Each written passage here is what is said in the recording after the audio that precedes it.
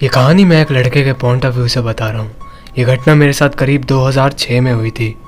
वो गर्मी का मौसम था और मेरे समर वेकेशन चल रहे थे, इसलिए मैं अपनी फैमिली के साथ एक जंगल में आया था। उस जंगल में हमारी फैमिली ने एक केबिन खरीदा था और मैं उस केबिन में हर साल अपने समर वेकेशन में आया करता था। उस केबिन के आगे एक पेड़ था और उधर मैं चढ़ के अक्सर उस जंगल का नज़ारा देखा करता था। जब मैं पहली बार उस पेड़ पे चढ़ रहा था, तब तो मुझे काफ़ी ज़्यादा दिक्कत हुई थी। बट प्रैक्टिस करते करते मैं उस पेड़ पे चढ़ना सीख गया और उस जंगल का नज़ारा भी उस पेड़ से काफ़ी ज़्यादा मस्त दिखता था। वो नेचर का व्यू और जानवरों की आवाज़ें बहुत ही ज़्यादा प्लीजिंग थी। मुझे वो नज़ारा इतना ज़्यादा पसंद था कि मैं कभी कभार तो घंटों उस पेड़ पे बैठ के उसी नज़ारे को देखता रहता था। जब मुझे ज़्यादा देर हो जाती थी, तब मेरी मॉम मुझे वहाँ पे बुलाने के लिए आती थी। ऐसे ही एक दिन मुझे मेरी मॉम की आवाज़ आई। वो मुझे नीचे बुला रही थी। मैं उस पेड़ से नीचे उतरने लगा, लेकिन तभी मैंने एक चीज़ नोटिस की। मेरी मॉम की आवाज़ झाड़ियों में से आ रही थी। एंड ये काफ़ी अजीब था, क्योंकि मेरी मॉम झाड़ियों में जाने से डरती थी। क्योंकि झाड़ियों में अक्सर वो कीड़े और सांप वगैरह होते हैं, और उनसे मेरी मॉम को काफ़ी डर लगता था। एंड ये मेरा वहम भी नहीं था। वो साफ़ साफ़ मुझे ही बुला रही थी, और उनकी आवाज़ उधर ही से आ रही थी। लेकिन जब मैं नीचे उतरा, तब मैंने उनकी आवाज़ में एक अजीब सा भारीपन महसूस किया। और मुझे ऐसा लग रहा था जैसे कि वो काफ़ी गुस्से में मुझे बुला रही है। इससे मैं थोड़ा सा डर गया था। मैं आसपास देखने लगा कि आखिर मेरी मॉम कहाँ पे खड़ी है, क्योंकि मैं उन्हें देख नहीं पा रहा था। तभी मुझे फिर से मेरी मॉम की आवाज़ आई, लेकिन इस बार मेरी मॉम की आवाज़ मेरे घर से आ रही थी। और एग्जैक्ट मोमेंट पे मेरी मॉम की आवाज़ मुझे फिर से आई, लेकिन इस बार झाड़ियों में से। मुझे जैसे ही ये पता चला, मैं काफ़ी ज़्यादा डर गया और मैं वहाँ से जल्दी से भागने लगा। क्योंकि मैं समझ गया था कि झाड़ियों में से जो आवाज़ आ रही है, वो मेरी मॉम की नहीं है। कोई तो था जो कि उनकी आवाज़ को मिमिक कर रहा था और लगातार मुझे बुला रहा था। मैं जल्दी से वहाँ से भागने लगा। मुझे भागने की आदत नहीं थी, इसलिए मेरे पैर में क्रैम्प आने लगा। बट स्टिल, मैं अपनी पूरी जान लगा के वहाँ से भाग रहा था। लेकिन तभी मैंने किसी के तो फुटस्टेप सुने। कोई तो मेरा पीछा कर रहा था और साथ ही साथ मुझे बुला रहा था। लेकिन इस बार वो मेरी मॉम की आवाज़ नहीं थी। मैं जल्दी से भाग के अपने घर के पास गया। मैंने देखा कि मेरी मॉम बाहर खड़ी थी और मेरा इंतज़ार कर रही थी। लेकिन मैं जैसे ही अपने घर के अंदर घुसा, मैंने देखा कि पीछे से जो आवाज़ आ रही थी वो बंद हो गई। मैं जल्दी से अपने मॉम के पास गया और उनके गले लग गया। मेरी मॉम काफ़ी कंफ्यूज हुई कि मैं इतना डरा हुआ क्यों हूँ? वो मुझसे पूछने लगी कि आखिर तुम इतना डरे हुए क्यों हो और इतना तेज़ क्यों भाग रहे थे? मैंने उनसे पूछा कि क्या आपने किसी की आवाज़ सुनी? लेकिन उन्होंने कहा कि नहीं, उन्होंने किसी की भी आवाज़ नहीं सुनी।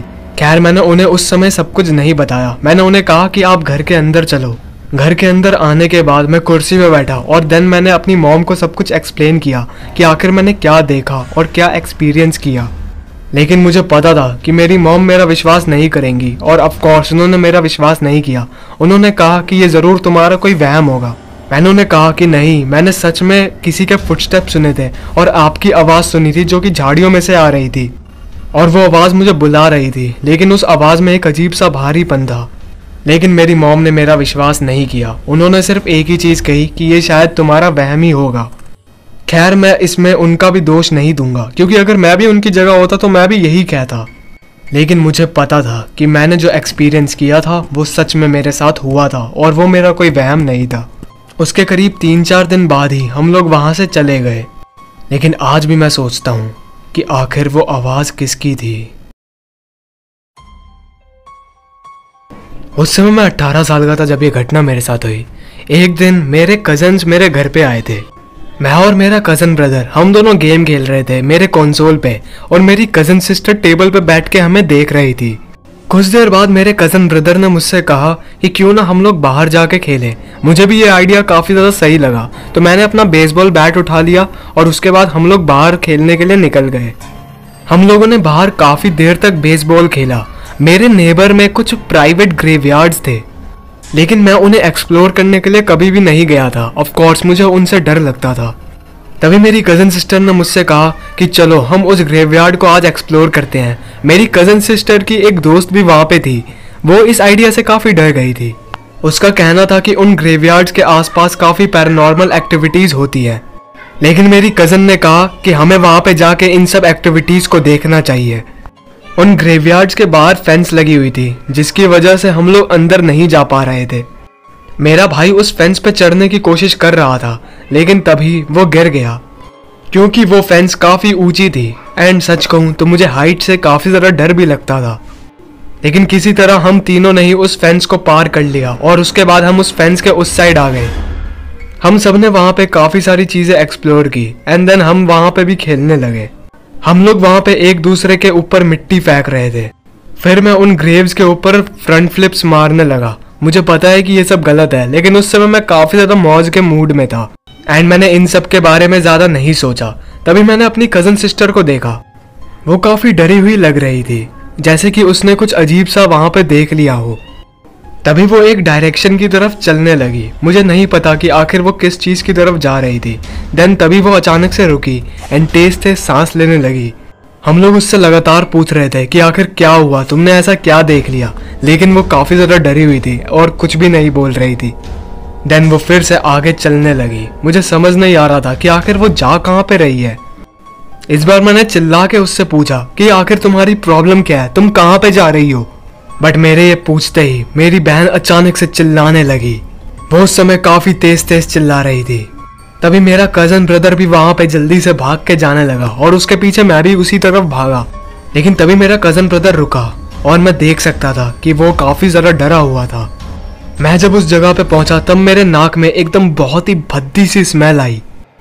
वो स्मेल किसी सड़ी हुई चीज़ की थी एंड वो बहुत ही ज़्यादा वर्स थी। और तब मैंने देखा कि आखिर वो स्मेल आ कहाँ से रही है। वो भद्दी सी स्मेल एक डेड बॉडी में से आ रही थी और उसकी हालत बहुत ही ज़्यादा भयानक थी। उसका शरीर अजीब तरीके से मुड़ा हुआ था और उसके हाथों में और पैरों में से हड्डियाँ निकल रही थी।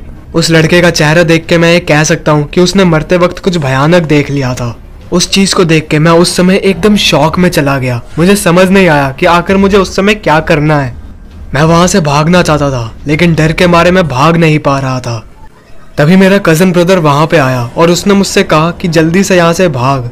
लेकिन उस डेड बॉडी को देख के मैं एक शौक में चला गया था और इस वजह से मैंने अपने कज़न ब्रदर को कोई रिस्पॉन्स ही नहीं किया।